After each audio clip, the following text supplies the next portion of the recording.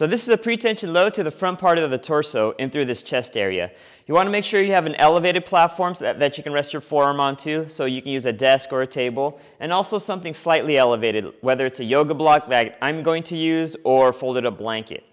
So the first thing you want to do is you want to make sure your elbow's bent at 90 degrees, and then you're going to place that forearm on the platform. From there, you're going to lower your torso down so that your torso is roughly about parallel with the floor until you feel some tension in the front part of the, the uh, torso or the chest area. Once you reach that position, then you're going to raise the wrist up off of the platform, making sure the elbow stays down until you feel more load or more tension in the tissue.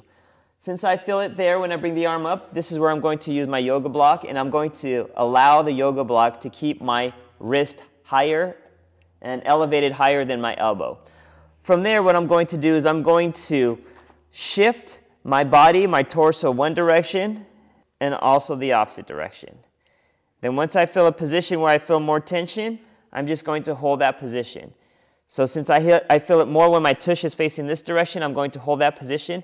Now I'm going to try to sink or push my butt backwards a little bit more so I feel more tension into the target tissue. Now this works great if you have a roller chair like I do, but if not, you may have to skip this, this step.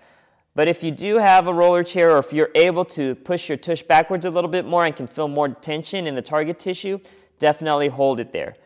After that, then you're going to drop the opposite shoulder down towards the floor or raise it up towards the ceiling and trying to see where you feel more tension. I actually feel more when I'm dropping down, so I'm going to hold this position. Since this is the last driver or the last movement, I'm going to just work on going up and down, focusing on trying to drop my shoulder down a little bit further.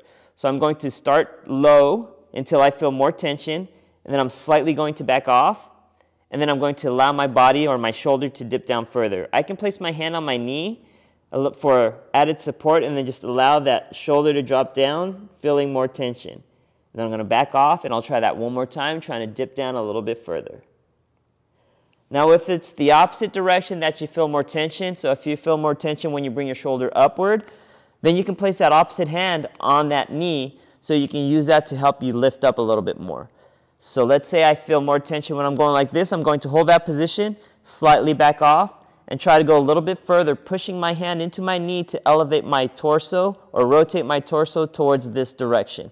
Holding that, slightly back off, and then going one more time, trying to go further than I did the previous attempt.